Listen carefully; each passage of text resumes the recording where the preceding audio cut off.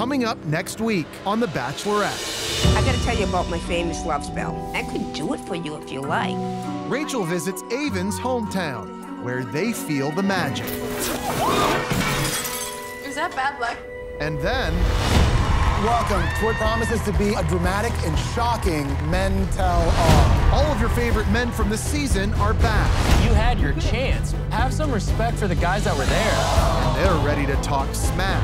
You did me wrong. All of that is like I guess I like girls that are rough around the edges. I, I love Gabby. And Meatball, our savior.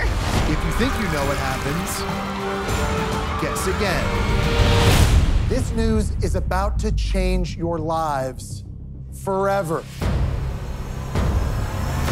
Get ready new adventures. And then, in two weeks, Bienvenidos. Gabby and Rachel take their journey for love to Mexico. I am in love and I've never been this happy. This is the moment during Clayton season where everything went haywire. Everything went off the wall. The last thing your dad said to me like was they don't like me. I'm scared to move forward because of what happened at hometowns. After Fantasy Suite, everything took like a 180. That was the last thing I could have ever expected.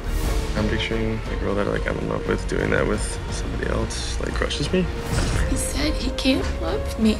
It's like, am I too broken for anyone to love? Gabby will not be joining you. You're going to be the only bachelorette here. I'm struggling because I want this to work, so it's hard when I've given it nothing but the best.